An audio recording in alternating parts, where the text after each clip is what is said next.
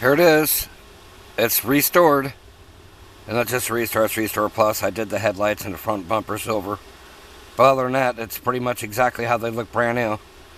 Finally got the hooks in. I even sourced some better wheels because the wheels that were on it were crap. And it took me forever to polish up those booms and the uh, windshield. And the red was not too hard to mix. It was like almost pretty much um, done nothing to it, just a tiny bit of yellow. But um, yep, here it is.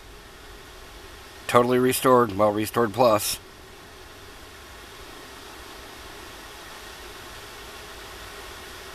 Let me know. Let me know what you guys think about it.